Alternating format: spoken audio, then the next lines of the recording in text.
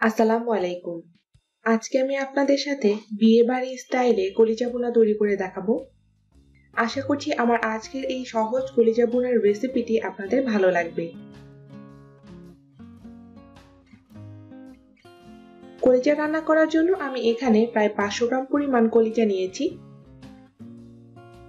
কলিজাগুলোকে আমি এমন টুকরো করে কেটে নিয়েছি। আপনারা চাইলে এর থেকে ছোট করেও কেটে নিতে পারেন। এরপর এই কলিজাগুলো আমি পানি দিয়ে ভালো মতো ধুয়ে নিয়েছি। এখন এই ধুয়ে রাখা কলিজার মধ্যে দিয়ে দিব প্রায় দুই কাপ ফুটন্ত গরম পানি। এবং এই কলিজাটাকে এই গরম পানির মধ্যে ভিজিয়ে রাখব প্রায় তিরিশ মিনিটের জন্য। ফলে কলিজায় যে ব্লাডগুলো থাকে সেটা অনেকটা বের হয়ে আসবে এবং কলিজার যে উৎক গন্ধ থাকে সেটাও অনেকটা চলে যাবে। প্রায় তিরিশ মিনিট পর দেখুন পানিটা অনেকটা ঘোলা হয়ে এসেছে। এখন এই পানিটা ফেলে দিয়ে আমি কলিজাগুলোকে আবারও পরিষ্কার পানি দিয়ে ভালো মতো ধুয়ে নিব। চলে এসেছি রান্নায়। একটি প্যানে আমি প্রায় ওয়ান থার্ড কাপ পরিমাণ তেল গরম হতে দিয়েছি। তেলটা হালকা গরম হলে এতে দিয়ে দিব হাফ চা চামচ আস্ত মেথি ফোড়ন। এই মেথি ফোড়নটা অবশ্যই দিবেন, এতে করে কিন্তু আপনার কলিজা রান্নাটা অনেক বেশি অ্যারোমেটিক হবে। দশ পনেরো সেকেন্ড মেথিটাকে তেলে ভেজে নেওয়ার পর এতে দিয়ে দিব হাফ কাপ পেঁয়াজ কুচি। এখন পেঁয়াজগুলোকে আমি হালকা বাদামি করে ভেজে নিব। চুলার জালটা আমার মিডিয়ামে আছে। পেঁয়াজগুলো হালকা বাদামি করে ভাজা হয়ে গেছে। এখন এতে দিয়ে দেব হাফ টেবিল চামচ লাল মরিচের গুঁড়া এবং হাফ চা চামচ হলুদের গুঁড়া। সরাসরি তেলে এই দুটো গরম মশলা দিলে তরকারির রংটা সুন্দর আসে। এখন এই গুঁড়া মশলা দুটোকে আমি পাঁচ সাত সেকেন্ড একটু ভেজে নিব। এরপর এতে দিয়ে দিব এক কাপ পানি যাতে মশলাটা পুড়ে না যায়, নইলে তরকারির রংটা কালচে হয়ে যাবে।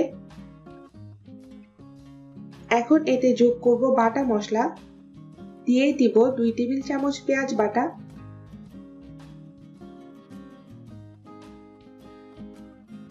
হাফ চা চামচ আদা বাটা। আধা টেবিল চামচ রসুন বাটা। হাফ চা চামচ জিরার গুঁড়া। হাফ চা চামচ গরম মশলার গুঁড়া। একটু সবকিছু নেড়ে চেড়ে মিশিয়ে নিচ্ছি।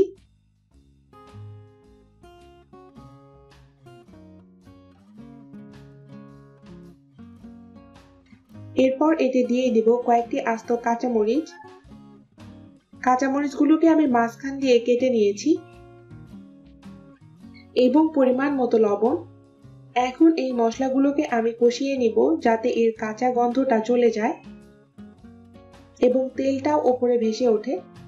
তবে মাঝে দু একবার ঢাকনা খুলে মশলাগুলোকে নেড়ে চেড়ে দিতে হবে যাতে সহজে পোড়া না লাগে।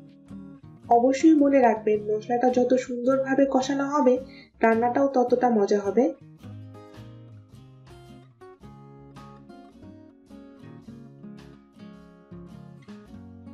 কলিজা রান্না করার জন্য মশলাটা কষানো হয়ে গেছে। দেখতেই পাচ্ছেন মশলা থেকে তেল ছেড়ে দিয়েছে। এখন এতে সে আগে থেকে ধুয়ে পরিষ্কার করে রাখা কলিজাগুলোকে দিয়ে দিব।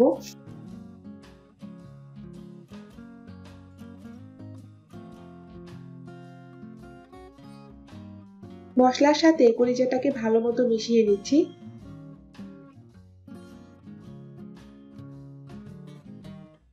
এরপর এতে যোগ করব আস্ত গরম মশলা।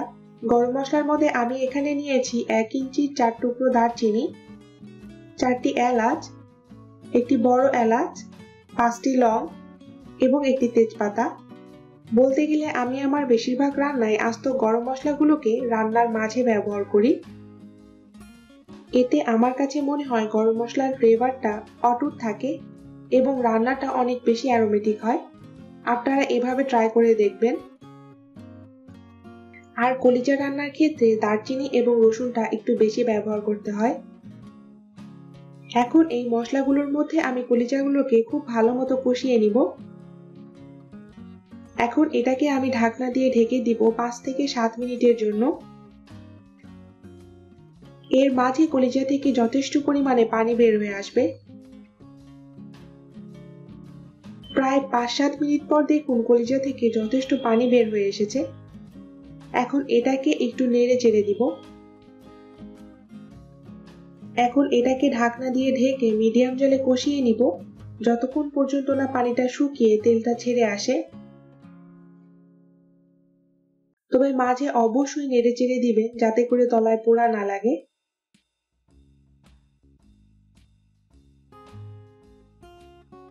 কলিজাটা কষিয়ে নেওয়া হয়ে গেছে। দেখুন সাইড থেকে তেল ছেড়ে দিয়েছে। এখন এখানে আমি যোগ করব আড়াই কাপ পরিমাণ পানি, যাতে কলিজাগুলো সিদ্ধ হয়ে যায়।